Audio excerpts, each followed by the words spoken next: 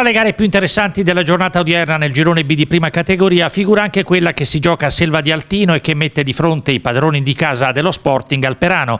Si tratta di una sfida interessante per diverse motivazioni, tra queste la vicinanza geografica dei due centri, con lo Sporting che è stato ospitato spesso anche in questa stagione nell'impianto peranese, prima del definitivo rientro nel proprio Fortino. La situazione di classifica al contrario è abbastanza discordante, con i biancoverdi del presidente Cinquina che rimangono l'ultimo baluardo a contrasto della battistrada San Vito 83, mentre i gialloverdi peranesi sono chiamati ad un finale di stagione altisonante per centrare l'obiettivo prefissato della salvezza diretta.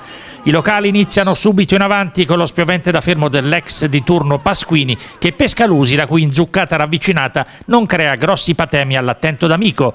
Un minuto dopo Mainella cerca la soluzione dal vertice d'area ampiamente fuori misura. Biancoverdi ancora arrembanti nelle fasi successive, dapprima con il tentativo di palombella di Pasquini da distanza siderale che si spegne sul fondo e successivamente con il nuovo tentativo di Mainella, stavolta con una mezza rovesciata dal limite, ma anche stavolta i risultati non sono degni di nota. Pur con un discreto predominio territoriale, lo Sporting non corre rischi ma non crea neanche pericoli degni di tale nome per la porta difesa da D'Amico che al 35 blocca in scioltezza la conclusione telefonata di Codà Codagnone. Al riavvio dei giochi il Perano giustifica la sua presenza in campo con il tentativo di Fortugno, tutt'altro che velleitario, con Mainardi che rimane ancora spettatore non pagante della sfida. Non va molto meglio sull'altro versante a Pasquini con D'Amico che accompagna la sfera a spegnersi sul fondo.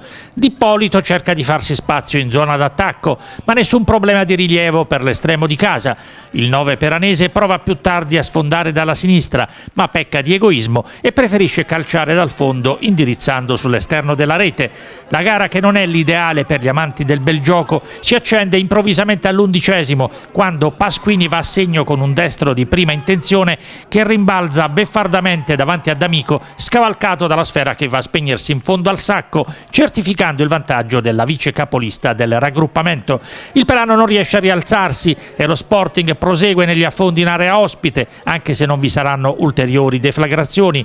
Al ventesimo Mainella spedisce alle ortiche dal vertice d'area. Prima della mezz'ora tocca ancora a Pasquini che scaraventa al lato. Il numero 8 locale va a caccia del bis personale anche al 36esimo, ottimamente servito da Zecti. Viene a trovarsi praticamente indisturbato davanti a D'Amico, ma la sua conclusione termina clamorosamente a fondo campo. Al 41esimo Mustafa si dirige in area dalla corsia sinistra e con estremo altruismo preferisce assecondare l'irruzione di Mainella, fermato dall'intervento decisivo di D'Amico che limita i danni. Il Perano si fa vedere all'altezza del triplice fischio, ma il tentativo di Fontana è lo specchio fedele di una gara assolutamente inoperosa per i due portieri, salvo qualche rara eccezione. Prima del triplice fischio segnaliamo l'occasione sciupata dal neo entrato Chiarini, che scatta in contropiede col Perano riversato in massa nell'area altinese, ma la finalizzazione non è adeguata anche se può bastare così. I tre punti vanno alla truppa del presidente Cinquina che continua la rincorsa alla battistrada San Vito 83. Siamo qui con il presidente del Perano Calcio Leonardo D'Alonso. Oggi per voi è arrivata una sconfitta, diciamo che è stata un po' meritata perché effettivamente voi non avete mai calciato in porta verso gli avversari, non vi siete mai resi pericolosi. Per quanto riguarda la nostra pericolosità sono d'accordo perché effettivamente Mainardi in 90 minuti non ha avuto grossi impedimenti, abbiamo avuto solo un'occasione con un tiro laterale di Dippolito nel suo secondo tempo e, però c'è anche da dire che anche il nostro portiere, a parte il gol preso che, da Pasquini che ha fatto anche un grande gol a distanza, è stato impegnato solo verso il finale di partita con un contropiede di Mainella, quindi anche il nostro portiere è stato inoperoso.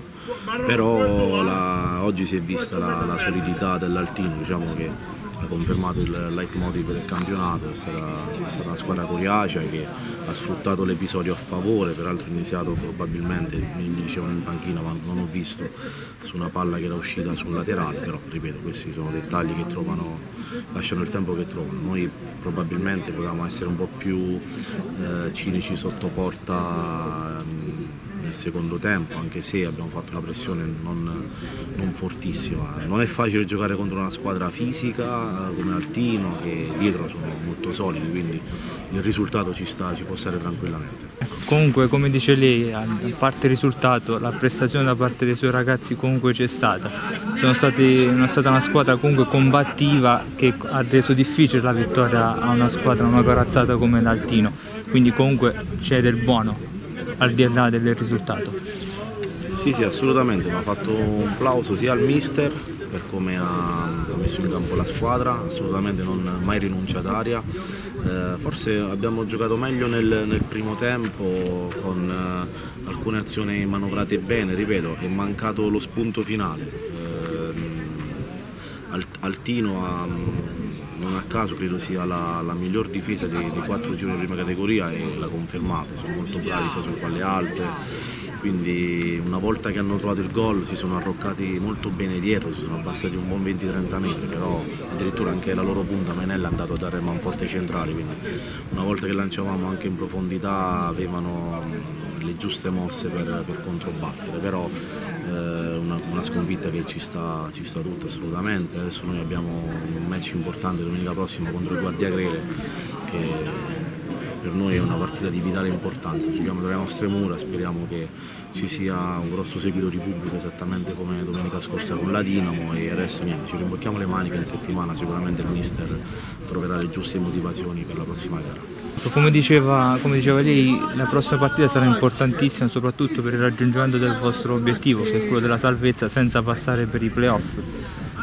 Cosa si sente dire ai suoi ragazzi proprio per spronarli a, ra a raggiungere questo obiettivo? Allora, come, come, ho detto anche magari in altre interviste, è stata questa è un'annata veramente particolare per noi, un'annata dove si sono ehm, create delle problematiche a livello di infortunio sin dalla, dalla prima giornata e anche magari dei, dei, dei rinforzi che abbiamo preso a loro volta hanno avuto problemi, per cui è un'annata che come si dice mh, mm, bisogna cercare di affrontarla una settimana per volta in base alle condizioni fisiche di ogni singolo giocatore. L'unica cosa che mi sento di dire è di continuare sull'unica strada che conosciamo, quella del lavoro, dell'intensità, di, di, seguire il diktat del nostro allenatore che è fondamentale perché solo col lavoro sul campo, l'allenamento si, si può preparare bene la partita della domenica, la, la vittoria si costruisce dalla settimana, non ci sono altre scusanti. Siamo qui con Pasquini Emilio, capitano e giocatore dello Sporting Altino. Per oggi grazie a un suo gol la, la sua squadra è riuscita a portare a casa un risultato importantissimo. Sì, era una partita difficile che sapevamo dall'inizio e fortunatamente l'abbiamo portata, portata, dalla nostra parte con un gol mio, ok, però il capitano resta Nicola Carunchio che è un grande giocatore che oggi ci mancava. E sapevamo che Perano veniva qui a fare una partita di spessore, così è stato e complimenti a loro, però noi dobbiamo andare per la nostra strada e dobbiamo riuscire a fare più punti possibili da ora a fine campionato. Il risultato comunque vi dà ragione per quello che si è visto in campo, diciamo che gli avversari non si sono mai resi pericolosi nella porta del vostro portiere e anche nel primo tempo voi non siete stati incisivi come avreste dovuto esserlo. Per fortuna che grazie al suo gol lì siete riusciti a sbloccare la partita. Sì, il primo tempo è stato diciamo, un po' di studio da ambe le parti, è stata una partita giocata a centrocampo, maschia, con poche occasioni, non riuscivamo a fare il nostro gioco o, perlomeno quello che volevamo. E il secondo tempo ci siamo riusciti un po' di più, fortunatamente eh, abbiamo trovato il gol e, e dopo il gol potevamo fare molti più gol da come si potranno vedere dalle immagini eh, abbiamo dovuto soffrire fino alla fine ma siamo così, siamo una squadra che fa soffrire fino alla fine. Questa è una vittoria importantissima per rimanere agganciati alla, alla prima della classe che era il San Vito e vi permette comunque di mantenere la seconda posizione. Sì, il San Vito no, non ci pensiamo, diciamo la verità, eh, facciamo il nostro campionato, facciamo da ora alla fine più punti possibili, a fine campionato tiriamo le somme. Cosa si sente dire ai suoi compagni per il proseguo del, del campionato? Niente, perché siamo un gruppo fantastico, siamo uniti e dobbiamo andare avanti così.